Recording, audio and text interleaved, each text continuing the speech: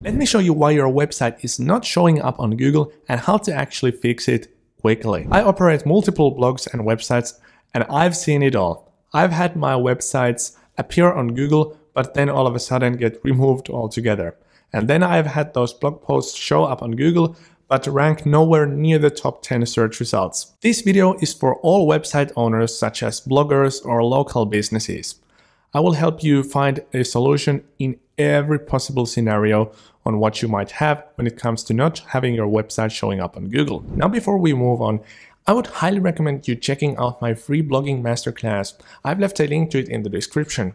In this masterclass, I teach you everything you need to know to start a successful blog and how to actually grow your website to the next level this year. So first and foremost, how do you actually know if your site is on Google or not? Well, you can use the site colon operator. So basically just open up Google, type in site colon, and then your URL. So for example, if your website is called example.com, you can see all the pages and posts that are showing up on Google by Googling site colon example.com. Now, if this gives you an empty page, or if you are not seeing your blog posts or pages in the results, this might mean that Google is not showing your posts and pages on the search results. Nonetheless, let's start with one of the most common scenarios.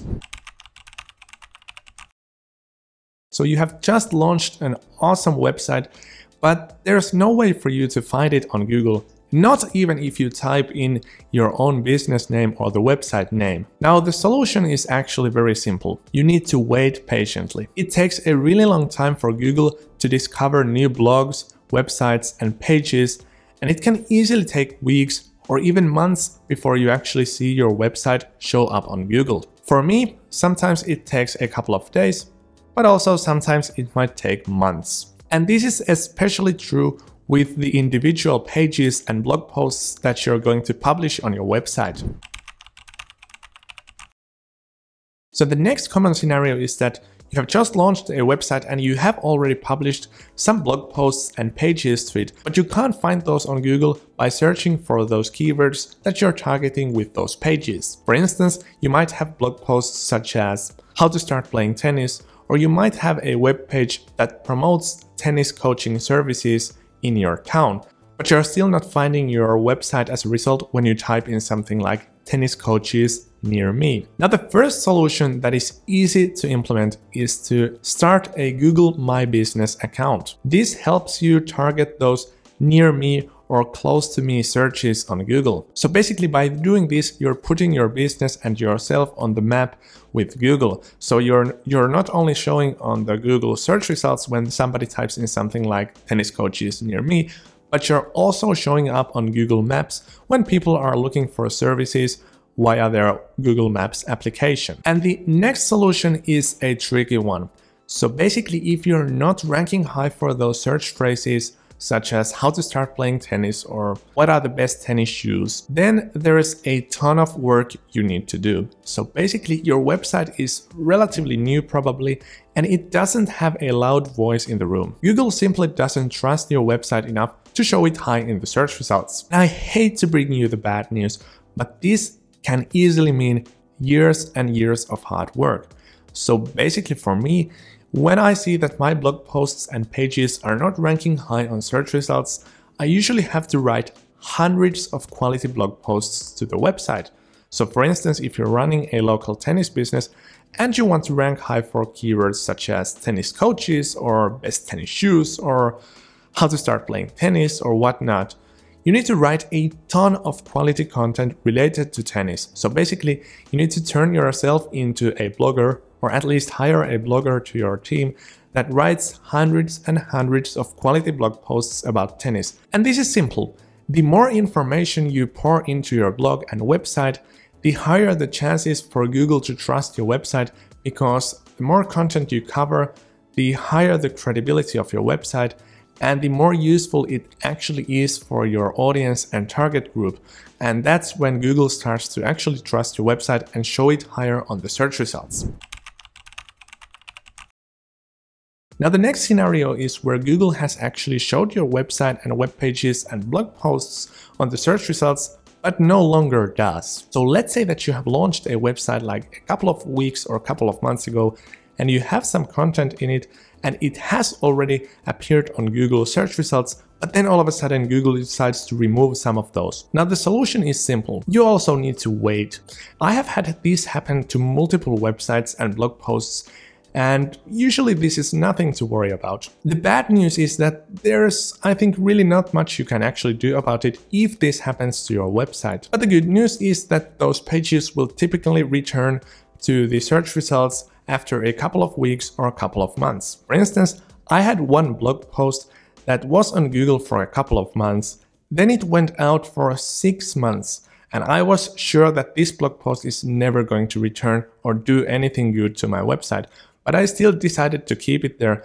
And now I noticed that almost year after publishing the blog post and almost like six or seven months of being out of the index, it has finally come back to Google and actually started to skyrocket in traffic. And this blog post brings a couple of hundred bucks every single year, assuming that it keeps the traffic level it now has. So there's pretty much no clear cut answer as to why this happens. Nonetheless, this must be some testing that Google does behind the scenes and it's nothing to worry about. A funny way to think about it is that Google tests how well the world works with or without your blog post. Now the next scenario is probably something that most people with Google Search Console have seen at least a couple of times. So if you have connected your website with Google Search Console, you might have seen that Google Search Console might say that a particular page or blog post is on Google, but if you're using the site operator or if you're using your keywords, you're actually seeing that it's not on Google. And the solution to this is simple. Just wait. I've had this happen to multiple websites and blog posts, and I have never really discovered as to why this actually happens. The reason why I don't really worry about this issue or haven't even really tried to figure out why this happens is because usually things settle within a couple of days. So if Google Search Console claims that the blog post is on Google, it probably is, but due to some particular optimization or whatever reason, it's just not showing up on Google right at the moment. But nonetheless, that's something you shouldn't really worry about. So thus far, I have covered most common reasons as to why your website, web pages or blog posts are not showing up on Google. And to put it short, Usually you just need to wait. If your website is not found on Google after a couple of days of launching, it is way too early to worry about any issues in your content or website. But then there are those technical issues that are very easy to check that might physically prevent your website from showing up on Google. So don't just go anywhere yet because I will actually show you some easy things you can do to make sure that there are no technical issues preventing your website from showing up on Google. So first and foremost, make sure that your blog post content or website content is not thin. And what I mean by this is that your content shouldn't just repeat what people have already told on the internet. So if your page or blog post is just repeating stuff that has already been told millions of times before, there's no reason for Google to show it up on Google search results because it's just eating up space. And these days, when people use AI tools like ChatGPT to write blog posts, this is a very common issue. The content is long and detailed, but it is absolutely not adding anything new to the table. This kind of content is what Google absolutely hates and it's never going to show that kind of stuff on Google search results. So to remedy this issue, you need to write blog post content that's actually valuable and unique. So you need to take your own images. You need to share your own valuable experiences and knowledge. Need to share your own takes. And you need to make the content better than anyone else has ever written prior to you. You did need to do more research than your competitors. You need to test things out more carefully than your competitors. So for instance, if you're writing a review about tennis shoes, it is definitely not just enough for you to write a blog post that quickly recaps what the product page of those shoes actually tells, but you actually need to try out those shoes in different contexts and scenarios and share the experience with those shoes and share the pros and cons and share images and show how you actually like those shoes instead of just repeating stuff that has been already told. Now the next more technical issue that might prevent your website from showing up on Google search results is having a manual penalty. So open up Google Search Console, then check the Security and Manual Actions tab and click on Manual Actions. If you see no issues detected, you're good to go. But if this section shows you some issues, you need to address those quickly because those are issues that somebody on Google team has actually manually placed on your website and those can easily prevent from all your pages and content from showing up in Google search results. Usually this doesn't really happen unless you have done something crazy on your website.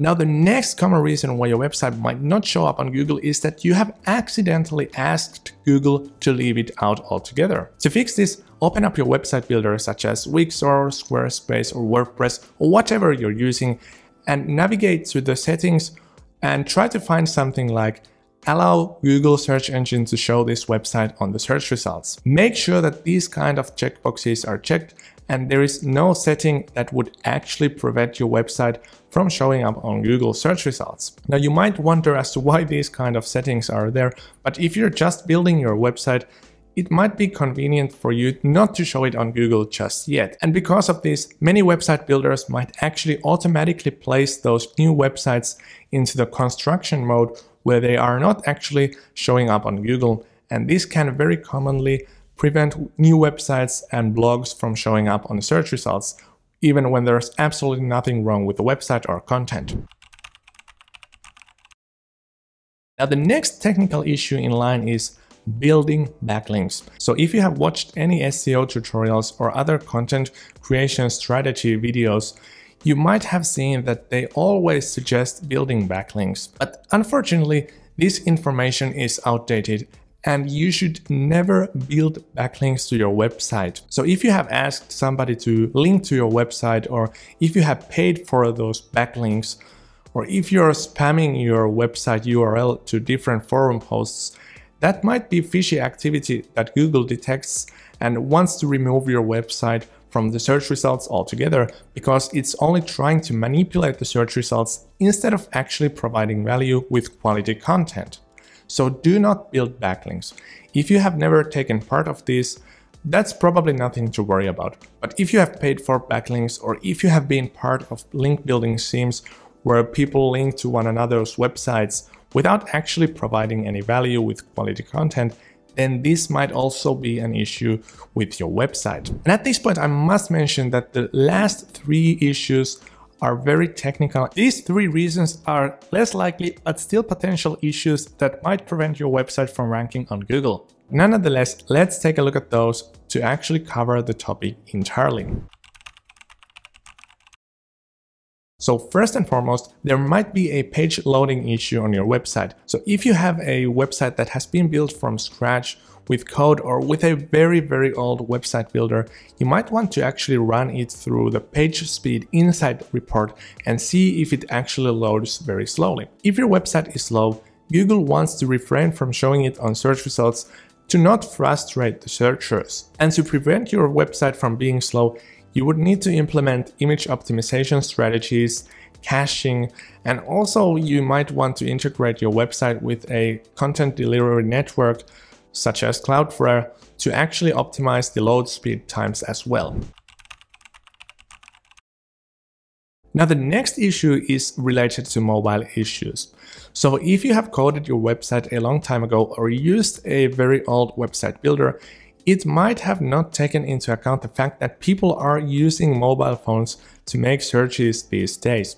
And those websites might work perfectly on desktop applications, but they might look absolutely terrible on a mobile device.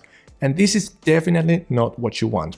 Well, if you build your website with like Wix or WordPress and you use those common themes, this is probably not something you will ever need to worry about. If you have built your website from scratch or if somebody has built it from scratch or an old technology that doesn't worry about mobile devices, then you might be in trouble because Google actually wants to index pages mobiles first. So they want to take into account the fact that actually people search for results with their mobile devices. And if a page is not looking good on mobile devices, that might never rank high on Google or not even show up in the search results.